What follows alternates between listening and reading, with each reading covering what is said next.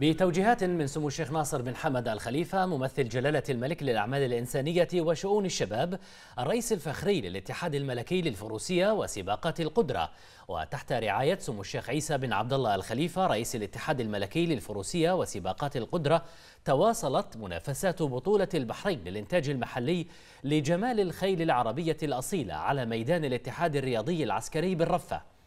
وبهذه المناسبة أعرب سمو الشيخ ناصر بن حمد الخليفة عن تقديره للجهود التي يبذلها الاتحاد الملكي للفروسية وسباقات القدرة برئاسة سمو الشيخ عيسى بن عبد الله الخليفة ولجنة جمال الخيل في المحافظة على مكانة التراث الأصيل في رياضة جمال الخيل العربية الأصيلة.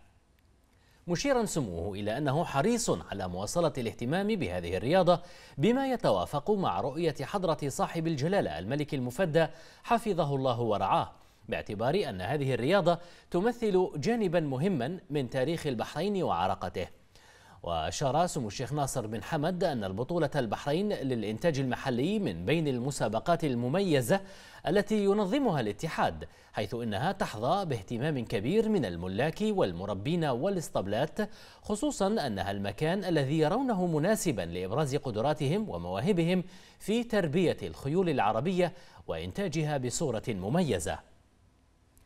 وأضاف سمو الشيخ ناصر بن حمد الخليفة أن بطولات جمال الخيل العربية الأصيلة تشهد تطورا واضحا في مستوى الإنتاج والعروض المتميزة التي شهدتها البطولات الماضية وهو دلالة على جهود الاتحاد الملكي في مواصلة تحقيق الأهداف المنشودة نحو دعم الإسطبلات والملاك في المملكة وأن هذه البطولة تعكس القدرات البحرينية في الإنتاج المحلي.